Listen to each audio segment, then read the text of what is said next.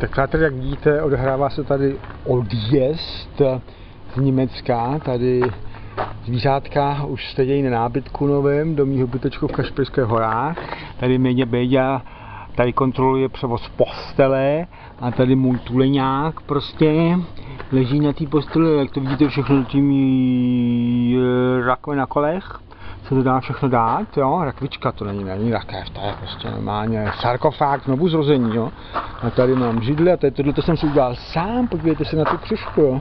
Vidíte tu křivku, jo, vidíte tu křivku, to jsem si udělal sám kdysi. Takže to je ten náš odjezd do Čech, přátelé, jo, zatím první várka.